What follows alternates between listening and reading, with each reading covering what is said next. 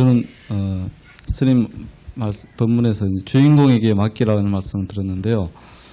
어, 그러면은 그 주인공 그 주인공은 제 몸속에 있는 것인지 또 우주에 다 허공벗게 꽉찬 것인지 그 기독교에서 말하는 그 하나님과 주인공은 어떻게 다른지 이런 것들이 좀 궁금합니다.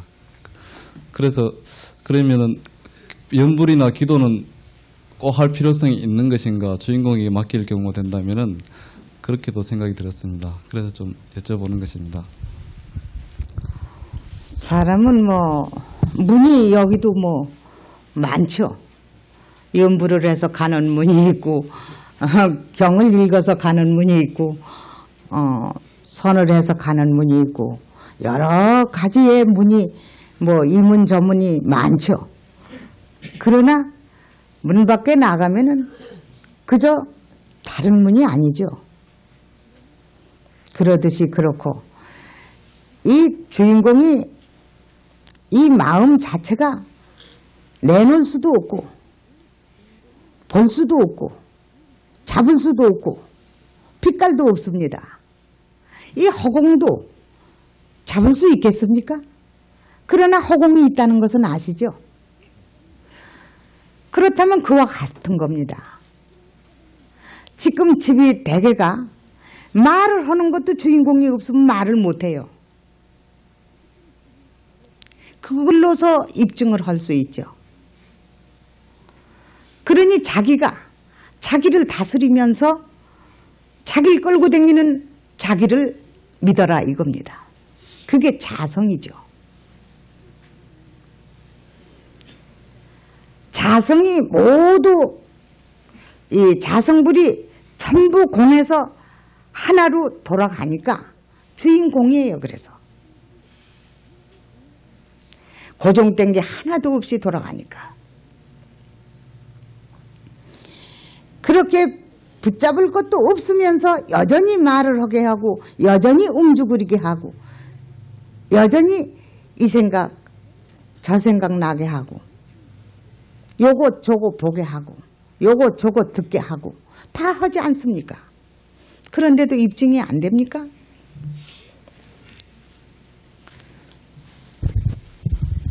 근데 저는 그런데 기도를 한다 그랬을 때요. 어, 부처, 시- 이렇게 아침에 일어나서 이렇게 음, 거룩하신 법신불이셔 이렇게 기도를 하거든요. 근데 그런 그런 법신 주인공에게는 뭐 주인공 너가 알아서 해라 이런 식인데 주인공이시여 어떻게 해주십시오 이런 게 아니라고 말씀하셨는데요. 예. 그때 저는 근데 기도할 때는 아, 거룩하신 법신불이시여 어떻게 해주십시오 이렇게 기도할 때가 좀 있거든요. 그거는 바깥으로 예. 이건 기복입니다. 그렇게 해서 항상 해 주십시오 한다면 노예 생활에서 불가합니다. 안 그렇겠습니까? 하나님 아버지시오 나를 이렇게 해주고 이렇게 해주시고 죄를 사해 주시고 아무리 해도 자기가 해놓은 일 우주 법계에서 알고 있는 이상 아무리 말을 해도 공덕은 하나도 돌아가지 않고 실천은 하나도 돌아가지 않습니다. 이 세상에 이 길을 걸어가다가 엎드러지면 이 땅을 짚고 일어나는 법이 있죠. 딴 데를 짚고 일어나는 법 없죠. 거기서 나오는 거라면 거기서 해결을 하겠지. 딴 데서 해결을 해주고 뺏어가고 하는 게 없습니다. 자기를 끌고 다니는 자기부터 알아야죠. 자기가 어디서 왔는지 말입니다. 어디서 왔는지 알면은 어디로 갈 것도 알 거 아닙니까? 어디로 갈 거 아는 사람이 지금 현실에 무엇을 하고 있는지 알 거 아닙니까? 그러니 모든 것을 우리가 에, 법신이시오 나를 이렇게 잘 되게 해주시오. 그거는 천부당만부당한 소리입니다. 하나도 이육되는 게 하나도 없어요. 모든 것은 해 주십소가 아니라 바깥으로 그러고 하는 게 아니라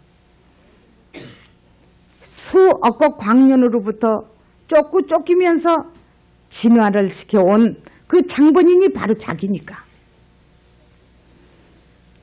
자기 영원한 생명의 근본이니까.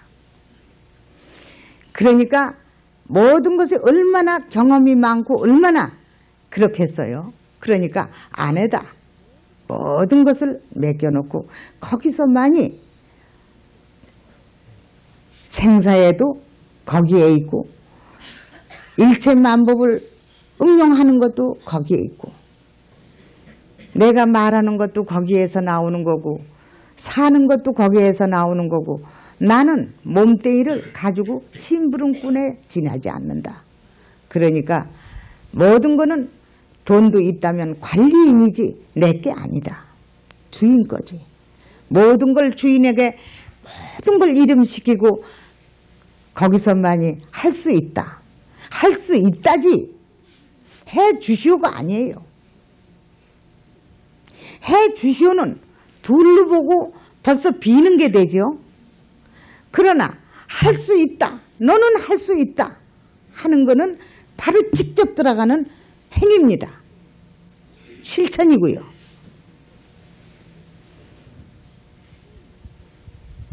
스님, 잘 알겠습니다. 나도 열심히 하겠습니다. 이거를 보고서 만약에 이 물이 있다는 소리를 듣고 보니까 물이야. 그런데 집어먹을 수 없고 집어줄 수 없다면 그건 보고 듣고 한 것도 소용이 없는 겁니다. 아무 소용이 없는 거예요.